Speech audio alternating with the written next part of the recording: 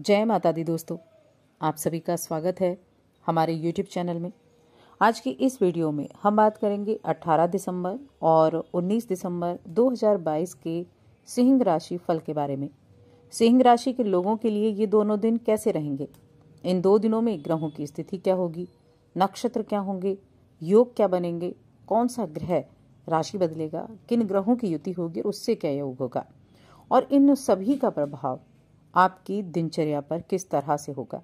जानेंगे सब कुछ विस्तार से इन दो दिनों में होने वाले हर एक बदलाव के बारे में। तो वीडियो को लास्ट तक देखें। चैनल पर पहली बार आए हैं तो सब्सक्राइब भी कर लें और जुड़ जाएँ हमारे चैनल के साथ। यहाँ आपको समय समय पर सभी जानकारियाँ मिलती रहती हैं। तो सबसे पहले इन दो दिनों के तिथि नक्षत्र के बारे में जान लेते हैं। 18 दिसंबर का दिन, कृष्ण पक्ष की दसवीं तिथि है। और हस्त नक्षत्र रहेगा सुबह दस बजकर अट्ठारह मिनट तक। उसके बाद चित्रा नाम का नक्षत्र शुरू हो जाएगा। इसके स्वामी ब्रह्मा है। शोभन नाम का योग बनेगा। चंद्रमा पूरा दिन कन्या राशि में रहेंगे। सूर्य धनु राशि में है ही, मूल नक्षत्र में, जो कई तरह के योग बना रहे हैं। एक तो त्रिग्रह योग बना है, बुधादित्य योग भी बना है, और साथ में दो और भी योग बने हुए हैं। सर्वार्थ सिद्धि योग बनेगा इस दिन। अमृत सिद्धि योग भी रहेगा। यानी इस एक दिन में योगों की भरमार होगी। अभिजीत मुहूर्त सुबह ग्यारह बजकर सत्तावन मिनट से दोपहर बारह बजकर अड़तीस मिनट तक है। अब 19 दिसंबर, कृष्ण पक्ष की एकादशी तिथि, जो कि सफला एकादशी है। चित्रा नक्षत्र रहेगा। सुबह साढ़े दस तक उसके बाद स्वाति नक्षत्र लग जाएगा। अतिगण नाम का योग बना हुआ है। चंद्रमा राशि बदलकर तुला राशि में आ चुके हैं। आपके तृतीय भाव में और सूर्य आपकी राशि के स्वामी, धनु राशि में विराजमान है। पंचम भाव में कई ग्रहों का निर्माण, कई योगों का निर्माण इस पंचम भाव में कर रहे हैं मूल नक्षत्र में। अभिजीत मुहूर्त है सुबह ग्यारह बजकर अट्ठावन मिनट से, दोपहर बारह बजकर उनतालीस मिनट तक। ये हो गई हमारी ग्रहों की स्थिति। और इन्हीं के आधार पर जानेंगे ये दोनों दिन आपके लिए कैसे रहेंगे। तो सबसे पहले हम बात करेंगे 18 दिसंबर के बारे में, कि 18 दिसंबर का दिन आपके लिए कैसा रहेगा। 18 दिसंबर का दिन स्वास्थ्य के लिहाज से बेहद अच्छा रहने वाला है।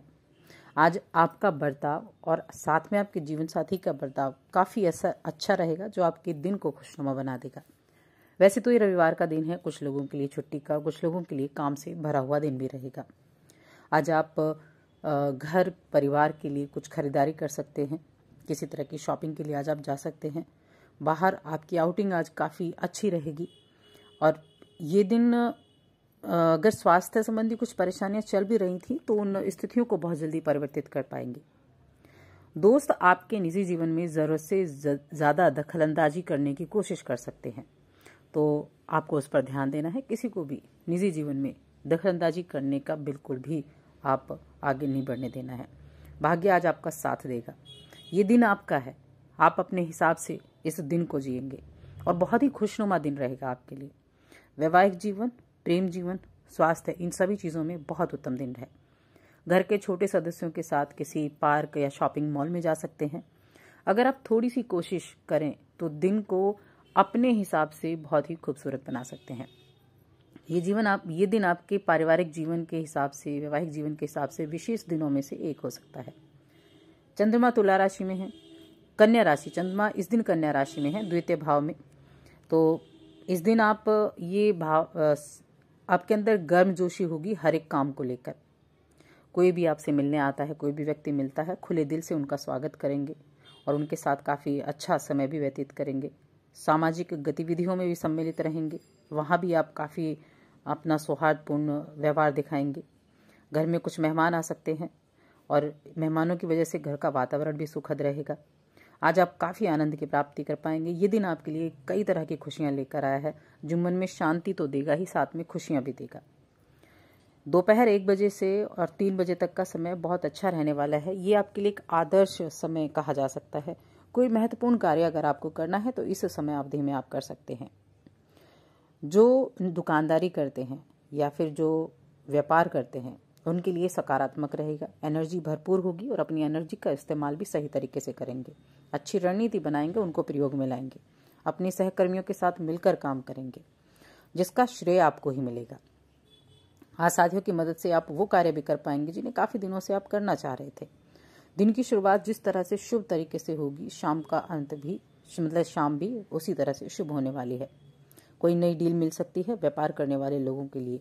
एक्सपोर्ट इंपोर्ट करने वाले लोगों के लिए भी कुछ नई डील मिलने की संभावना यहाँ बनी हुई है। और एक कुछ अनजान स्रोत से धन प्राप्ति का योग भी बना हुआ है। आपसे कहीं दूर स्थान से आपको कोई खुशखबरी मिल सकती है जिससे खुश होंगे।